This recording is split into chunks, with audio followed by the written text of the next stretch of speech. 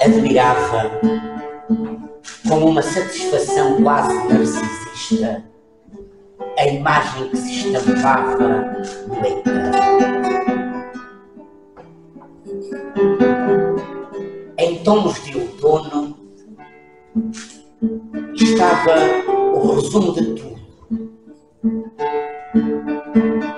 O que ela significa de corpo e alma, mente e coração.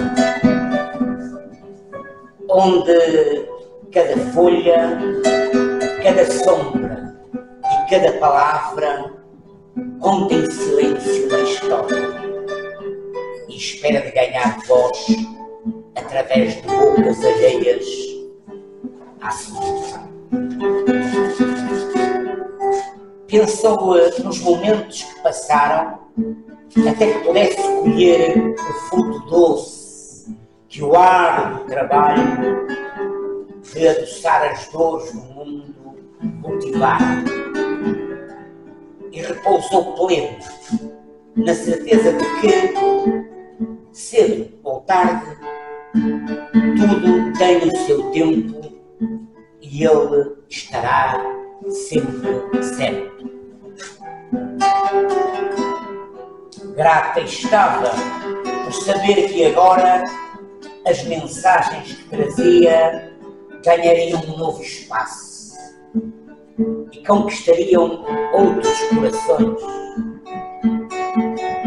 era o meu presente para o futuro, que uso o passado como barco e não como âncora.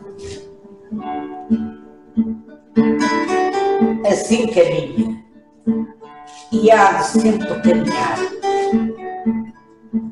de, de pés descalços sobre a relva a transportar o universo que grita sob suas vestes. Pois desse modo se movem os leves de espírito, que não se deixam afundar pelos desassossegos, antes o recolhem com ternura e mostram ao mundo que a esperança não veio de esperar, e sim de transmutar